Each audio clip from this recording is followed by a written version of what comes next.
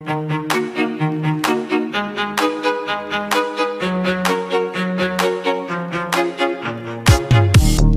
oh, I got breaking news.